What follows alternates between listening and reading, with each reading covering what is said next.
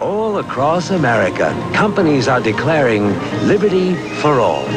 A revolutionary idea from Liberty Mutual Insurance, where employees can now save on all their auto, home, and life insurance through the convenience of payroll deductions. Liberty for all. It's freedom from bills and paperwork, and it can save you money.